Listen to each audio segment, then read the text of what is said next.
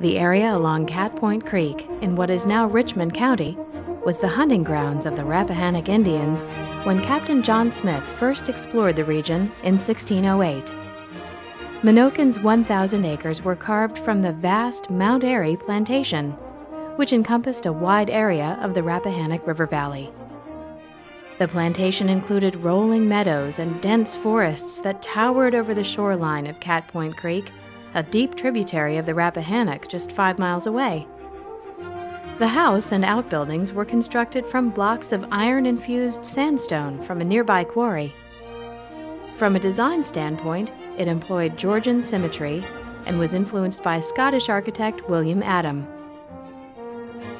This 3D digital reconstruction provides a virtual tour through the house as it existed during the time of Francis and Rebecca Lee.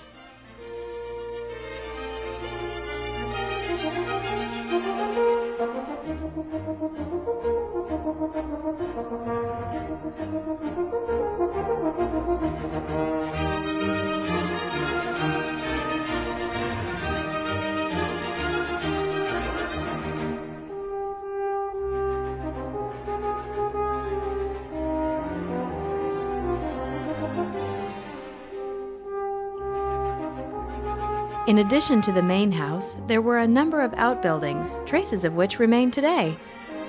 Archaeological excavation has produced several artifacts that have helped identify the likely location of the plantation's slave quarters. On the south side of the house, there are remnants of the plantation's terraced gardens. A road to the creek led to a wharf where Menokin's agricultural products were loaded aboard ships for market. Though the house is in partial ruin, much of the landscape of Menokin remains as it was when Francis and Rebecca called Menokin home.